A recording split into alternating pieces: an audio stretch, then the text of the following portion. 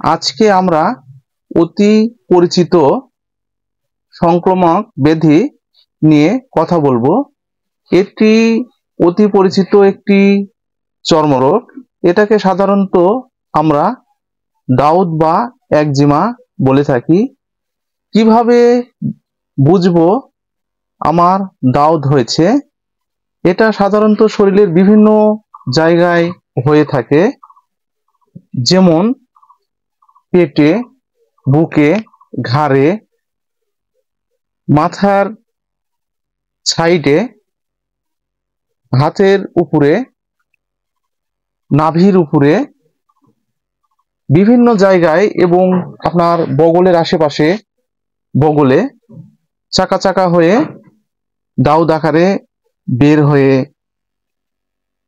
থাকে।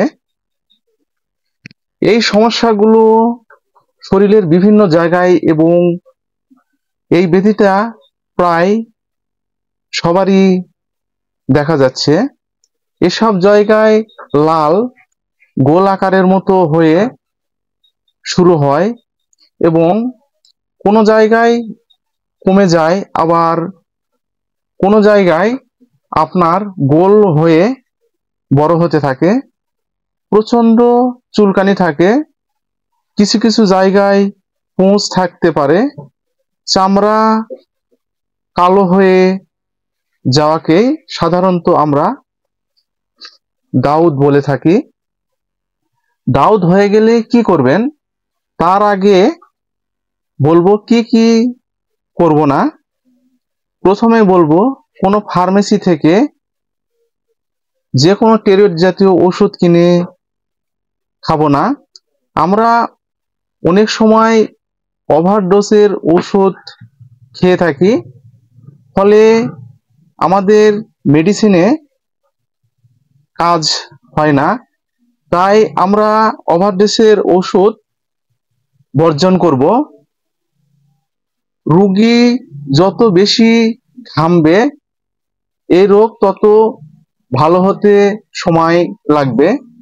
তাই সব সময় শরীর যাতে না ঘামে, সেদিকে আমাদের লক্ষ্য রাখতে হবে।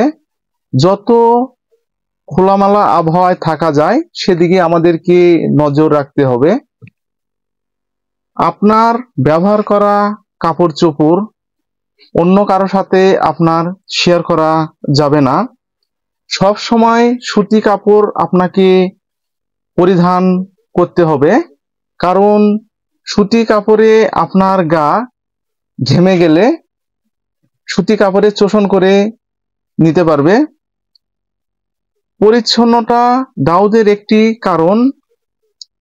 অতি পরিচ্ছন্নতা দাউদের আরেকটি কারণ। অনেক সময় ইনফেকশন শরীরে যখন বেশি হয়ে যায়, ডিটাল স্যাবলন এবং বিভিন্ন ধরনের জীবাণুমুক্ত সাবান আমরা ব্যবহার করে থাকি, যেগুলোতে প্রচুর প্রচুর পরিমাণে ক্ষার রয়েছে, অতিরিক্ত গরম পানি ব্যবহার করে থাকি, এগুলো ব্যবহার করা যাবে না। আর একটি কথা, রোগীরা যদি,